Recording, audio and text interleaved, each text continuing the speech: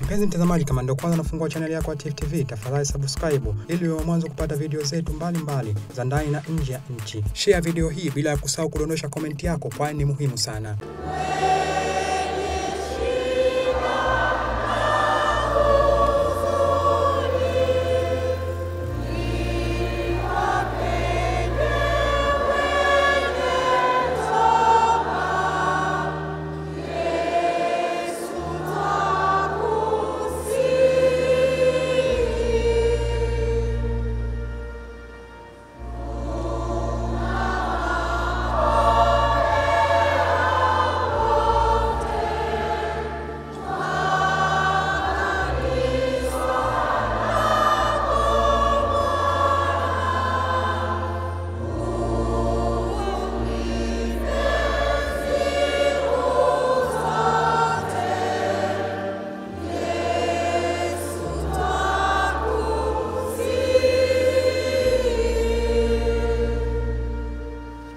Ahadi yangu ni kuwa serikali itaendelea kutoa ushirikiano kwa taasisi za dini ili kuziwezesha kufanya shughuli zao za dini kwa uhuru, lakini vile vile kushirikiana nazo katika kutoa huduma kwa jamii zetu.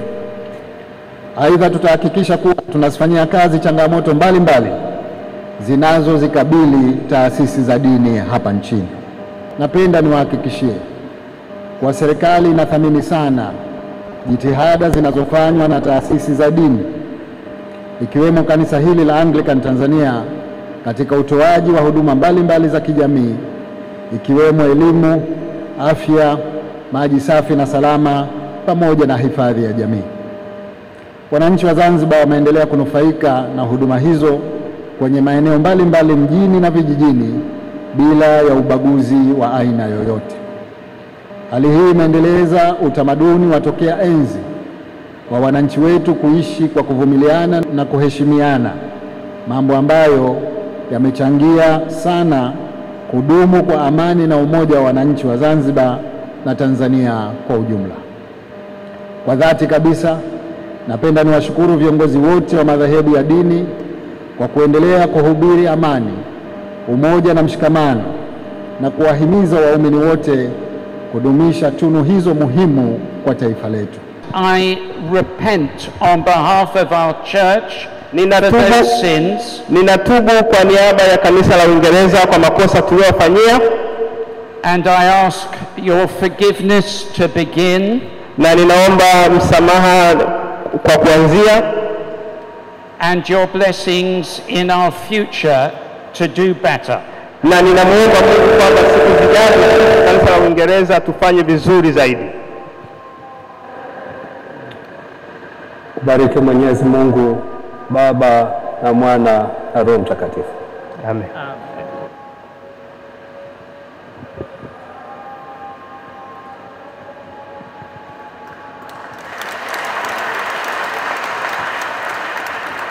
leo tumeshuhudia makosa yame, wamekiri makosa, lakini vile vile wameomba msamaha. Kwa hivyo tuchukue fursa hii kuwashukuru na kuwapongeza kwa jambo hili. Tumwombe Mwenyezi Mungu awasamehe na sisi yaliyotukuta haya tuwe tayari kusamehe. Kama kuna mahali pasipopaswa kuchezewa ni mahali hapa, kwa sababu ya upekee wa mahali hapa. Na ile tarehe sita Juni tunaleta ombi kwa kanisa na serikali. Tarehe ju, sita Juni ndio siku ambayo mkataba wa kukomesha biashara ya kuuzwa watu wetu ulitiwa saini hapa Zanzibar. Nionavyo mimi, hii ndio siku ya uhuru wa Afrika. Nionavyo mimi, hii ndiyo siku tukufu kabisa kuenziwa. Mheshimiwa Rais, ni kuombe sana, ukiona vema siku hii ipewe heshima ya kufanya makongamano ya kitaifa kuhusu ubaya wa biashara hii na kukemea machipuko mengine ya biashara za, za binadamu ambazo nayo yameanza kuchipuka leo hii. kuhusu swala la kuifanya tarehe sita Juni kwamba iwe ni siku tunayoiadhimisha kama siku maalum, kwa sababu ndiyo siku iliyotiwa saini kuondolewa biashara ya utumwa. Nataka nikubaliane naye kwamba jambo hilo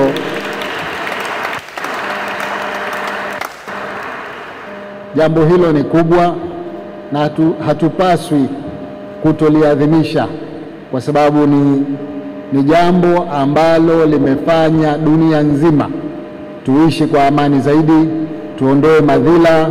Kwa hivyo ni lazima tuliadhimishe. Kuhusu swala la kodi ambayo inatakiwa ilipwe na taasisi hii kupitia ile tozo inayotolewa kwa wa, watu wanaokuja watalii wale, kwanza niseme kwamba tumewasamehe kwa kile ambacho hakijalipwa.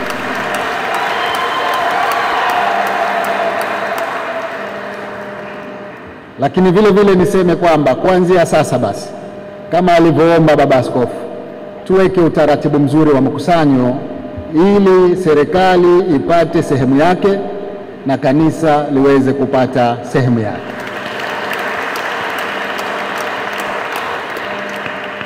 Na uagiza uongozi wa mkoa na wilaya pamoja na Wizara ya Fedha kushughulikia jambo hili kwa haraka ili tuweze kutekeleza yale ambayo mtakuwa mmekaa na kukubaliana utaratibu mzuri wa kulifikia jambo hili.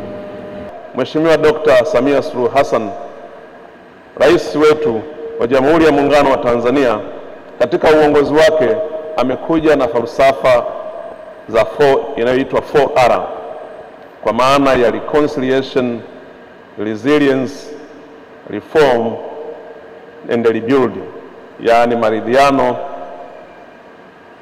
kwa maana ya upatanisho, mageuzi, ustahimilivu na kujenga nchi yetu upya. Neno upatanisho ambayo ndiyo ara ya kwanza ya Mheshimiwa Dr. Samia Suluhu Hassan ninaiona siku ya leo. Hongereni sana. Tena tunaiona neno hili upatanisho kama falsafa ya rais wetu wa Jamhuri ya Muungano wa Tanzania katika hadhi ya kiwango cha juu ambapo kanisa linafanya jambo hili. Kwa hiyo niwapongeze sana wana kanisa wa kanisa la Tanzania, lakini na kanisa la Anglican duniani kwa kuleta upatanisho huu katika kuzika kabisa madhara na madhira yote yaliyotokana na biashara ya utumwa. Naomba sasa mzindue jiwe hilo. Naomba makofi tafadhali.